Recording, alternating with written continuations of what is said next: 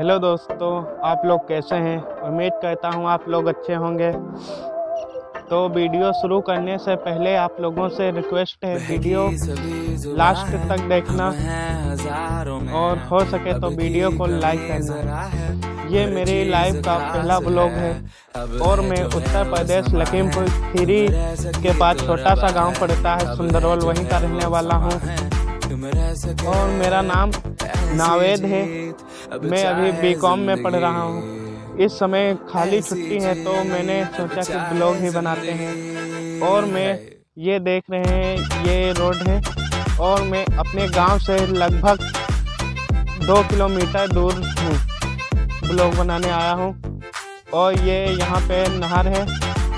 ये आपको हम दिखा रहे हैं, ये नहर है इसमें। आपको नहाई के पास ले चलते हैं।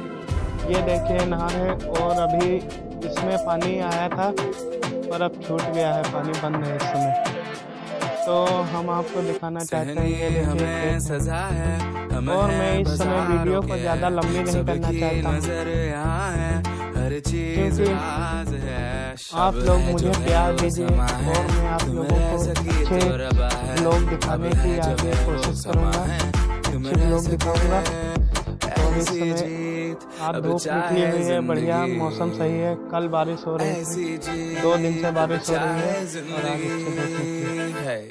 और ये देखिए बाबा आ रहे हैं लकड़ी काट कर अभी लकड़ी काट रहे थे तो ये जा रहे हैं बूढ़े हो रहे हैं बाबा। और इसी तरह हम अपने गाँव की भी आगे चल के ब्लॉग दिखाएँगे आप लोगों को अपना गाँव दिखाएँगे। और वीडियो अगर जो अच्छी लगी हो तो प्लीज़ लाइक कीजिए। ऐसी ज़िंदगी